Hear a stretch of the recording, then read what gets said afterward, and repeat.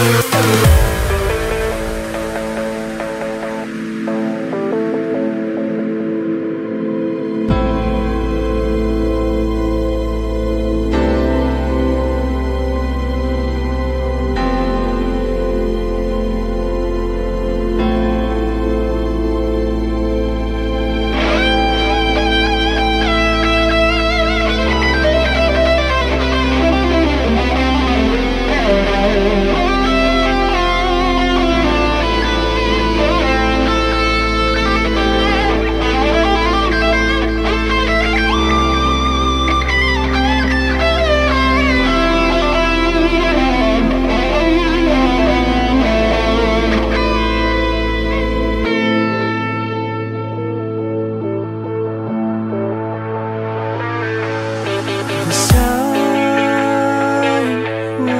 thankful of me the whole time.